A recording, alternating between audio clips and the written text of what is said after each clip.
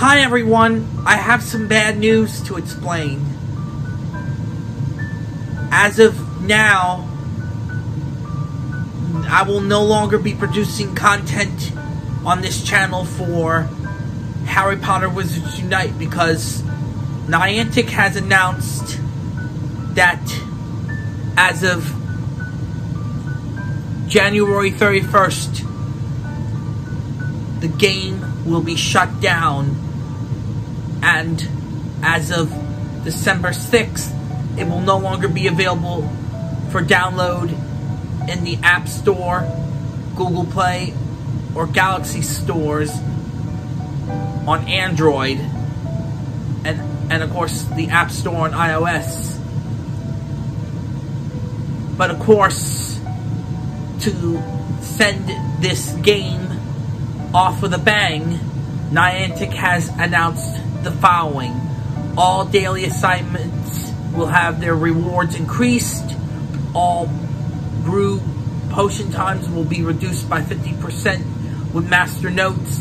The daily cap on spending and opening gifts will be removed. Baruffio's Brain Elixir Potion will now reward you with 3 times player XP, 1920s Portkey, key events will appear more frequently on the map, and fragment rewards will be doubled. Spell energy and ingredients will appear on the map more frequently. And of course, the events that they also announced for November. Dolores Umbridge, Lethal Adversaries, Half-Blood Prince Brilliant event, parts 1 and 2, Lucius Malfoy, Lethal Adversaries event. For December, Bellatrix Lethal Adversaries event. Horcrux Hunt Part 2, Voldemort Lethal Adversaries event, Deathly Hallows Brilliant event Parts 1 and 2, and the Holiday event.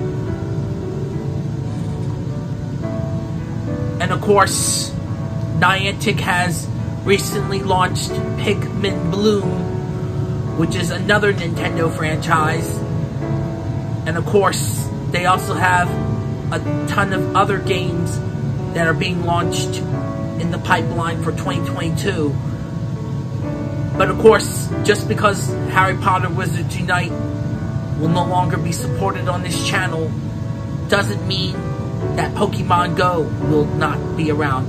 I will still be making videos about Pokemon Go and the big events that happen in the game and continue to hunt for rare and elusive Pokemon, including shinies, legendaries, and mythicals, and be able to transfer them into Pokemon Home and into the Gen 8 games.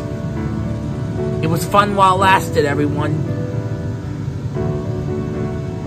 So, in the meantime, I will think of something to fill the void left behind by the departure of Harry Potter Wizards Unite play videos. For now, this is Louis saying, Thanks for watching, everyone! You can also follow me on Instagram, Twitter, Facebook, Twitch, and TikTok. And remember, it's time for adventure! Also, during these times when heading out, wear mask in public indoor settings, carry hand sanitizer with you, wash your hands, practice social distancing, and most importantly, get vaccinated, and of course, stay safe, stay healthy, and together. We are finally getting through these dark times together, but we're not out of the woods just yet.